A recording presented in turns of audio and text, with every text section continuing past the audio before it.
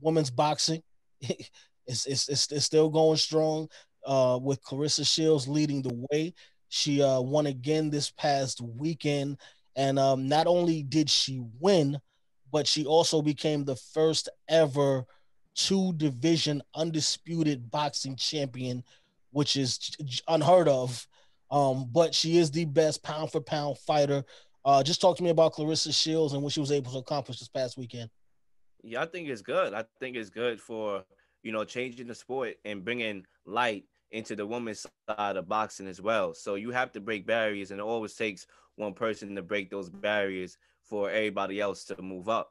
And I think that what she's advocating for uh, recently with regards to women's pay as well, those are always something that needs to be talked about as well because you know there is a pay disparity. There is you know more people watch men boxing than compared to women boxing. But I know for sure Claressa Shields is a is a good boxer. And she proved that um becoming the first undisputed you know champion. So I definitely shout out to her.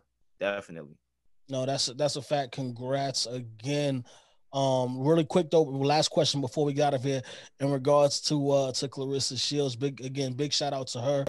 Um, you know, we had on, on the first half of, of, this week's show, I interviewed uh Kiara Dottori. She's actually making her pro boxing debut this weekend. One of the questions that I asked her, and I want to get you just really quick.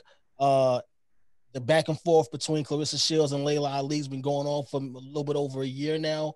Um, if Laila Ali is 43 right now. If she did decide to step back into the ring and fight Claressa Shields, who are you taking in that fight? I'm probably going to take Claressa Shields because of the long layoff. I mean, you know, it's always a long layoff that, you know, you have to have tune ups, I believe, because, you know, Claressa Shields is active.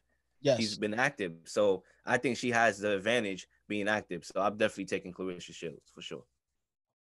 Yo, this is Teresa Weatherspoon, better known as Teaspoon, and you're watching Real Fans, Real Talk.